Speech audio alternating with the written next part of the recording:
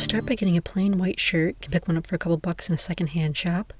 And then take some black fabric and lay that over the shirt. You want to be as wide as the shirt. And then cut it so that the top has the points on it. And then just pin that and you want to sew around all the edges. And then on the bottom edge you'll hem that under. So here it is once it's sewn and hemmed. And then it's exactly the same on the back side as well. I did the same thing there. Then you'll cut the hood shape out of some pink fabric, and I do have a free template for this. It should be popping up on your screen, or the link is also in the description box. And you'll cut out two pieces of that hood template.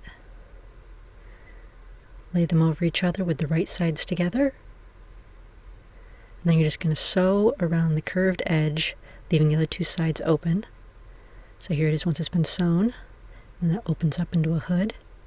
Do the same thing with some white fabric. Then you're just going to shove the pink hood inside the white hood, matching up the sewing lines. And then you're just going to sew around the open edges, just the front part of the hood there, leave the bottom open.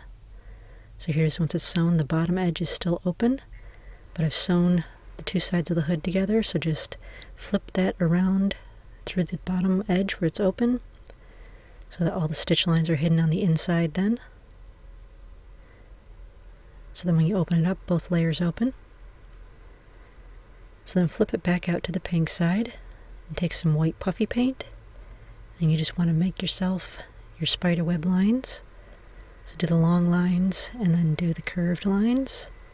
And you just want to go until you have both sides of the hood totally covered. Just let one side dry before you do the other side, of course. And while that's drying, take some more pink fabric and cut out the eye sockets. This is also in the template. You'll cut two of those out of pink fabric. And then flip your hood right side out, put a little fabric glue on the eye sockets, and just glue those onto the hood. If you're doing this for a bigger child or an adult, you can just glue these onto a white face mask to use as the mask, but since this is a toddler costume, I just glued them onto the hood. So then take your hood, and you just want to pin the edges of that to the collar of the shirt. So here it is once it's all pinned. I'm just going to sew all the way around the bottom of the hood. So here it is once it's sewn on. It doesn't go all the way around to the front, but that's good because it leaves room for the head. So then take some more pink fabric and cut out two diamonds. These are also in the template. And do some spider webs on those as well with some puffy paint and leave those to dry. Just do two of those, and then when they're both dry, shove some paper inside the sleeves of your shirt, and then just glue the diamonds onto the middle of the sleeve.